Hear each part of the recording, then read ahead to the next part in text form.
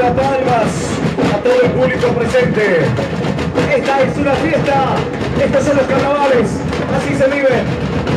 Bienvenido al secretario de Turismo que está allí intendente.